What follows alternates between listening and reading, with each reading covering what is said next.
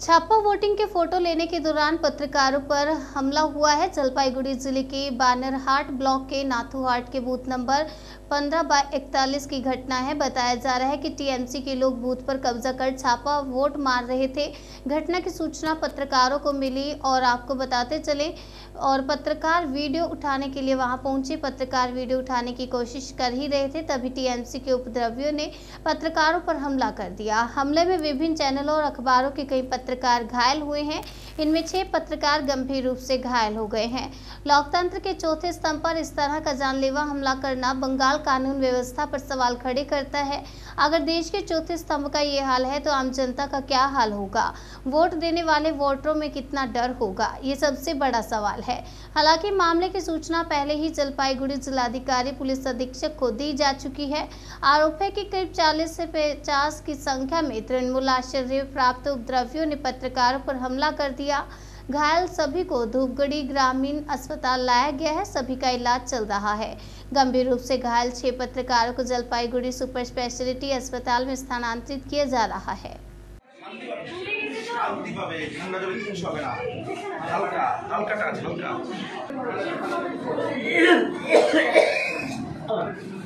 ওই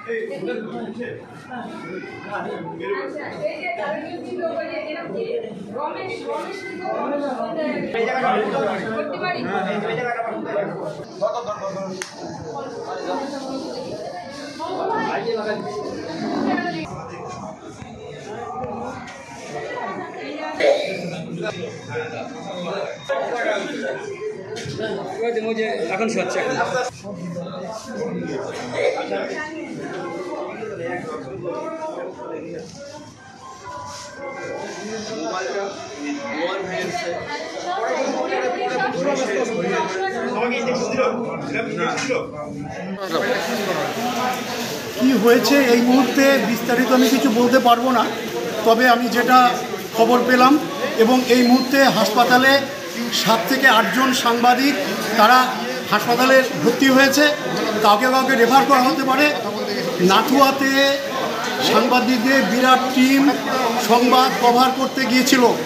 কিন্তু এটা আমাদের অত্যন্ত লজ্জার, অত্যন্ত দুঃখের যে গণতন্ত্র ভুলঞ্জিত হলো।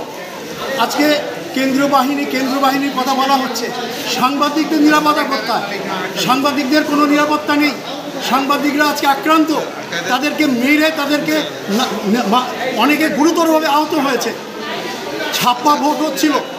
নাটুয়া বানিয়াপাড়া চৌরাস্তার একটি বুথে এরা সেই খবর করতে গেলে পরে দুষ্কৃত, দুষ্কৃতকারীদের হাতে তারা আক্রান্ত হয় এবং কমপক্ষে তিনজন গুরুতর আহত হয়েছে। এটা লজ্জার, এটা দুঃখের যে এই নির্বাচনের নামে একটা প্রহসন হলো এবং আজকে গণতন্ত্রের চতুর্থ স্তম্ভ আক্রান্ত হয়েছে। সর্বত্রই এই চিত্র আমাদের কথাবার্তা শুনে মনে করা মনে হতে পারে আমরা সাংবাদিকরা কোনো রাজনৈতিক দলের দালালি করি না।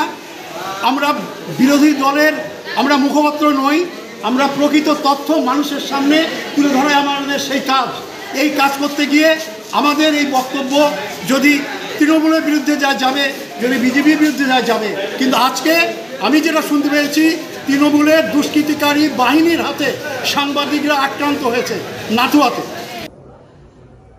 पश्चिम बंगाल में 2023 8 जुलाई, पंचायत चुनाव चल रहा है और पूरा आप देखेंगे पश्चिम बंगाल में पूरा काला दिवस बोलते हैं ब्लैक डे हो गया।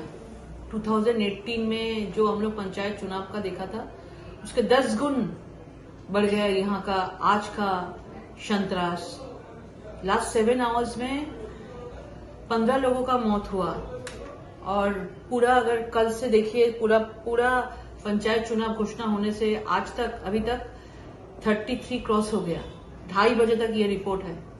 और वहाँ पे जो वोट करा रहे हैं सबसे दुख की बात है जो वोट का जो कर्मी लोग है वर्कर्स है वो लोग भाग भाग जा, जा रहे हैं। अभी वो लोग बूथ में नहीं है। बारह एक बजे के बाद से इतना वहाँ पे टॉर्चर चल रहा है इतना वहाँ पे मारपीट लड़ाई चल रहा है, वहाँ पे बोमाबाजी चल रहा है तो वोट जो कराने के लिए जो सरकार का जो आदमी होते हैं, वो भी भाग रहा है।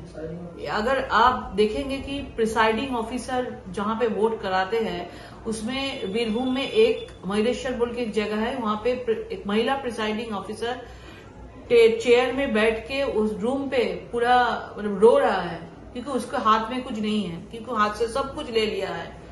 पूरा अंदर में दो बजे के, बारह एक बजे के बाद से पूरा पश्चिम बंगाल में जो सिक्सटी वन थाउज़ेंड बूथ है, ज़्यादा के ज़्यादा बूथ ऑलरेडी कैप्चर हो चुका है।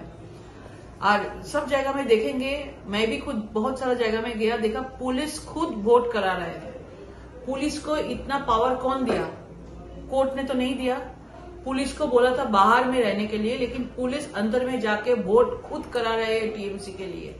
और सिविक पुलिस का कोई ऐसा सिविक पुलिस का ऐसा कोई हाईकोर्ट से निर्देश नहीं था। लेकिन हर बूथ में देखेंगे आप, एक होमगार्ड है, जो होमगार्ड मतलब कहाँ से आया, एजेड है, उसको देखेंगे तो कोई नहीं मालूम ही होगा होमगार्ड है, पुलिस का यूनिफॉर्म देके उसको भेजा दे, भेज गया।